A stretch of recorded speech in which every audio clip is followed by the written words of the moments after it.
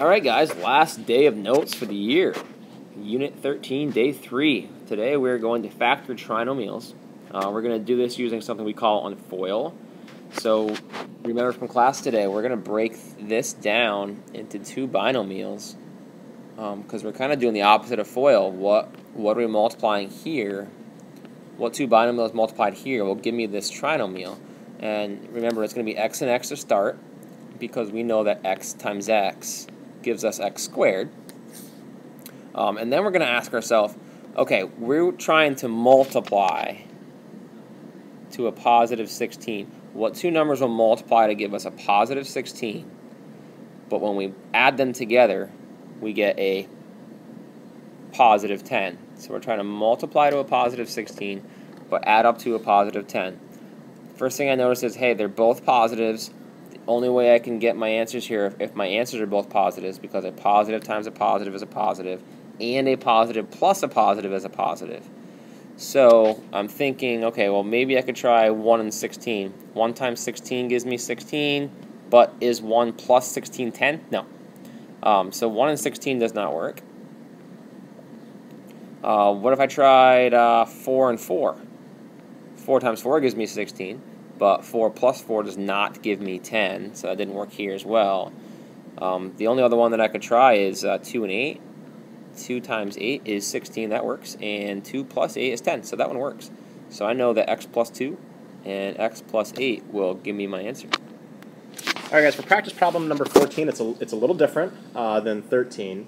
Um, so um, first thing I do is, is set myself up, and I put down my two parentheses, and I really like um, what Mr. Gallant does. And he puts a plus symbol on the second term, and he puts a multiplication symbol on the last term to remind me that what I'm essentially doing is I'm multiplying two numbers together to get 3, but I'm going to add them up to get a negative 4 this time.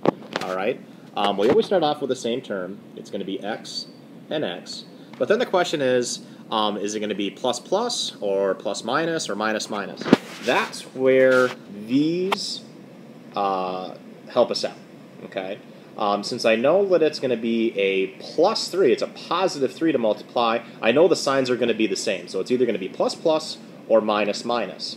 What this tells me right here is that it's going to be minus minus, because when I add them up, it has to be a negative. So my signs are the same because it's a positive 3, and they're both negative because I'm going to add up to a negative 4. Now, this is pretty simple because the only two numbers that you can multiply together to get 3 are 1 and 3, and when I add those up, I am going to get a negative 4. All right, and we'll do one more for you. Number 17 here. um, this is the first one we've shown you with a negative at the end here. And we know that the only way to multiply to a negative number is if my signs are going to be different.